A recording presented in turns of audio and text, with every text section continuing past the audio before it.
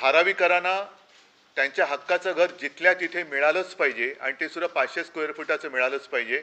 मुंबईभर अडाणींकडनं स्टेडियर विकत घेतला पाहिजे ही एक जबरदस्तीची अट त्यांनी त्याच्यात टाकलेली आहे. त्याच्याविरुद्ध तर आम्ही दंड थोपटलेले आहेतच. तर मोदी आणि शहा गुजरातला मुंबईची गिफ्ट सिटी पळून नेलेली आहे आणि मुंबईला अदानी सिटी करण्याचा त्यांचा डाव आहे.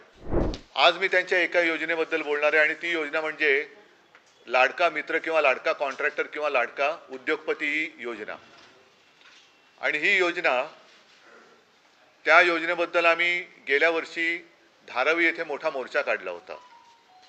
साहजिकच आहे धारावीचा उल्लेख केल्यानंतर आज मी जे बोलणार आहे ते धारावीच्या पुनर्वसन प्रकल्पाबद्दल. धारावीकरांना त्यांच्या हक्काचं घर जिथल्या तिथे मिळालंच पाहिजे आणि ते सुद्धा पाचशे स्क्वेअर फुटाचं मिळालंच पाहिजे ही शिवसेनेची आग्रही भूमिका कालही होती आजही आहे आणि उद्यासुद्धा राहणार आहे. धारावीचा विचार केला तर धारावी ही केवळ एक नुसती झोपडपट्टी नाही तर एक त्याच्यात वेगळेपण आहे. ते वेगळेपण असं आहे की ही जणू काही इंडस्ट्रीयल श्रम म्हणजे ह्या प्रत्येक घरामध्ये एक मायक्रो स्केलचा उद्योग चालतो. मग त्याच्यामध्ये काही ठिकाणी कुंभार पण आले अगदी इडलीवाले आले चांबड्याचा उद्योग करणारे आले कुंची कोरवे आले बऱ्याच गोष्टी आहेत. आणि त्या उद्योग धंद्यांचं करणार काय हा एक प्रश्न अजूनही अनुत्तरित आहे. आम्ही मोर्चा काढला होता तो मोर्चा जो एक बेसुमार टी डी आर काढून अडाणीला द्यायचा त्यांचा जो डाव आहे जो आम्ही उधळून लावणार आहोत तो कधीही यशस्वी होऊ देणार नाही आहोत. मुंबईभर अडाणींकडनं आर विकत घेतला पाहिजे ही एक जबरदस्तीची अट त्यांनी त्याच्यात टाकलेली आहे. त्याच्या विरुद्ध तर आम्ही दंड थोपटलेले आहेतच. मात्र गेल्या आठवड्यात काही बातम्या आल्या. त्या बातम्या पाहिल्यानंतर ह्या योजनांच्या सगळ्या फसव्या धुरळ्यामागे त्यांच्या कॉन्ट्रॅक्टर मित्राचं कसं ते चांग भलं करू इच्छित आहेत ते आम्ही तुम्हाला आज दाखवत आहोत. एकूण काय? तर मोदी आणि शहा गुजरातला मुंबईची गिफ्ट सिटी पळून नेलेली आहे आणि मुंबईला अदानी सिटी करण्याचा त्यांचा डाव आहे. म्हणजे कदाचित उद्या हे मुंबईचं नावही बदलतील आणि मुंबईचं नाव अदानी सिटी करतील. अर्थात ते आम्ही कदापि होऊ देणार नाही. जर का त्यांना उदाहरणच पाहायचं असेल तर संयुक्त महाराष्ट्र चळवळीचं उदाहरण त्यांच्या डोळ्यासमोर आहे. किंवा त्यांनी नसेल तर ते पाहावं की कसा मराठी माणूस एकवटला. तर अनेक जणांच्या डोक्यात जो अहंकार घुसला होता अगदी यावश्चंद्र दिवा करो वगैरे तो उधळून लावतो आणि मराठी माणूस मुंबई वाचवतो. आज मुंबईकरांना मी आवाहन करतो आहे की आपण मध्ये मी बातमी वाचली की मुंबई बचाव समिती मुंबई बचाव वगैरे नाही मुंबई रक्षक समिती पाहिजे. आणि मुंबईमध्ये जे काही एकूण यांचे ह्यांचे चाळे चाललेले आहेत मुंबईला लुटायचं मुंबईची तिजोरी रिकामी करायची आणि मुंबईला भिकेला लावायचं यांचं कारस्थान आहे ते आम्ही कदापि होऊ देणार नाही. आज मी आपल्याला बोलवलं ते एवढ्यासाठी की अडाणीला हे टेंडर दिलं गेलं त्यावेळेला टेंडरमध्ये नसलेल्या काही गोष्टी ह्या आज त्या देऊ करतायत. म्हणजे एकतर वारेमाप एफ एस आहे मुळामध्ये जर का धारावीचा प्रकल्प आपण पाहिला तर पाचशे नव्वद एकरचा हा एकूण भूखंड आहे. त्या पाचशे नव्वदमध्ये तीनशे एकर हा गृहनिर्माणसाठी आहे किंवा तिथे घर आहेत. मग बाकीचा जो आहे त्याच्यामध्ये माहीम नेचर पार्क नंतर मग टाटाचं ते पॉवर स्टेशन आहे रिसिव्हिंग सेंटर वगैरे काय काय गोष्टी आहेत. आणि एकूण टेंडरमध्ये जर का तुम्ही बघाल तर कुठेही वाढीव टी डी आरचा उल्लेख नाही आहे त्याच्यानंतर आता जे काही तिकडे चाललेलं आहे की सर्व घरांना ते एक नंबर देत आहेत. म्हणजे धारावीकरांना पात्र अपात्रतेच्या चक्रव्यूहात अडकून हाकलून द्यायचं आम्ही एकाही धारावीकराला तिथून जाऊ देणार नाही. आम्ही प्रत्येक धारावीकराच्या मागे उभं राहू. पण पात्र अपात्रतेचा निकष लावून धारावी रिकामी करायची आणि मग रिकामी केलेली ही मा धारावी अदानीच्या घशामध्ये अलगत जाईल की जिकडे पुन्हा भूखंडाचा श्रीखंड ओरपाल हे सगळे तयार. मुख्य मुद्दा काय आहे? की हे सगळे जे काय कारस्थान आहे ते मुंबईचं नागरी संतुलन बिघडवण्याचा हा डाव आहे. नागरी संतुलन. आपण मानसिक संतुलन बोलतो. मानसिक संतुलन बिघडलेली माणसं आपल्याला माहिती आहेत कोण आहेत काय काय करतायत. काही जणांच्या मानसिकतेला सुद्धा बुरशी आलेली आहे. त्याच्यामुळे अशी सगळी माणसं आहेत ती याच्या मागे आहेत. नागरी संतुलन मी एवढ्यासाठी म्हणतोय की त्यांनी जी काही जागा पाचशे नव्वदच्या वरती मागितलेली आहे पाचशे चाळीस एकर. म्हणजे मुळामध्ये बघा की धारावी पाचशे नव्वद एकरची आहे.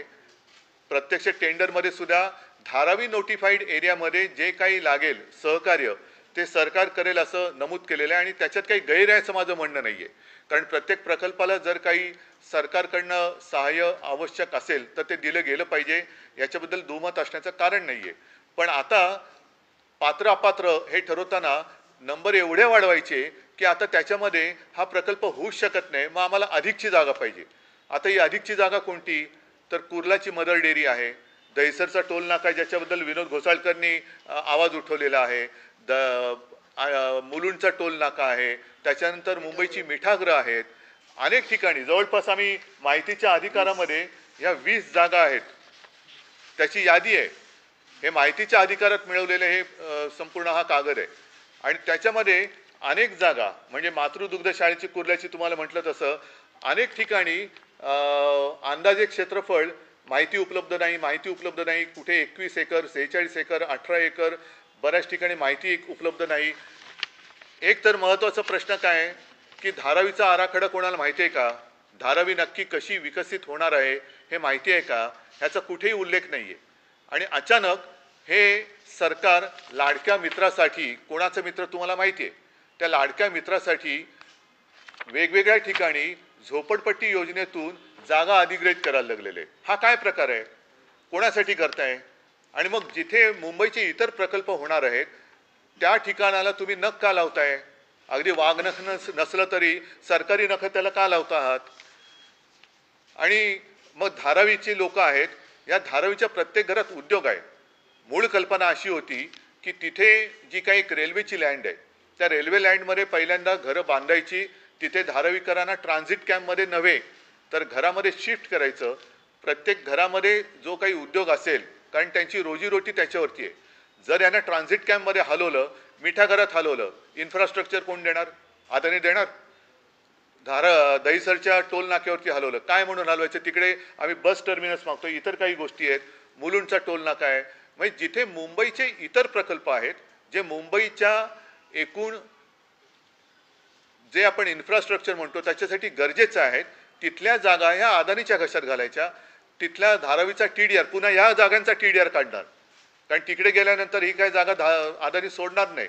मग इथे ही किती काय धारावीकर राहणार? तोपर्यंत त्यांच्या उद्योगधंद्याचं काय होणार? त्यांच्या रोजीरोटीचं काय? इडलीवाले म्हणजे आज शहराला मोठ्या प्रमाणावरती जी काही इडली पुरवली जाते तिथले बरेचसे इडलीवाले बाबरो तिथे चामड्याचे सुद्धा बरेचसे उद्योग तिकडे आहेत. त्याच्यानंतर कुंभार आहेत. कुंची कोरवे हा? अनेक अनेक.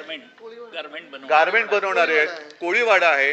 ही लोक तुम्ही ट्रान्झिट कॅम्पमध्ये हलवल्यानंतर तुम्ही त्यांना घरं एक साधारण म्हणजे इथली झोपडपट्टी आहे ती झोपडपट्टीतनं चांगली घरं द्यावं ही योजना असताना तुम्ही इथल्या झोपडपट्टी धारकांना उचलून त्यांना पात्र अपात्रेचा निकष लावून मिठागरात किंवा इतरत्र पुन्हा झोपडपट्ट्यांमध्ये फेकणार. मग धारावी तुम्ही अदानीच्या घशात कशी घालणार? आणि मला असं वाटतं जर एकूण टेंडरचा अभ्यास केला हे दोनशे पानाचं टेंडर आहे. एकशे एकोणनव्वद. ह्या टेंडरचा अभ्यास केला तर याच्यामध्ये कुठेही आज देऊ केलेल्या सोयी सुविधांचा उल्लेख नाही. म्हणजे ही मोठी फसवणूक आहे.